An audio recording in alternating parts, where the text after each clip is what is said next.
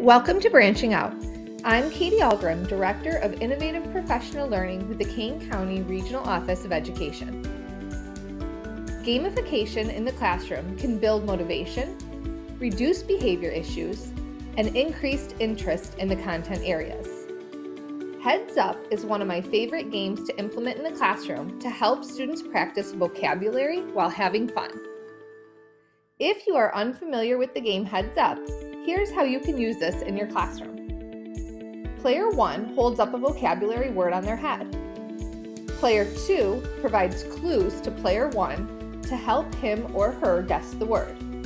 Note, the clues cannot be sounds like, rhymes with, or starts with clues. The timer will go for 30 seconds.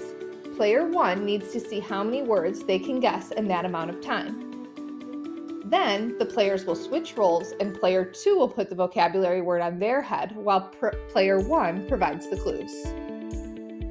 Heads Up can be modified for your classroom to play in teams instead of pairs.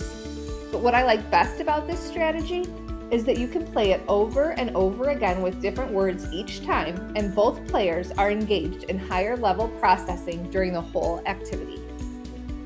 So now it's your turn to branch out to implement the gamification lesson Heads Up in your classroom. Please don't forget to share your experience with us by tagging us on social. And as always, thanks for watching Branching Out.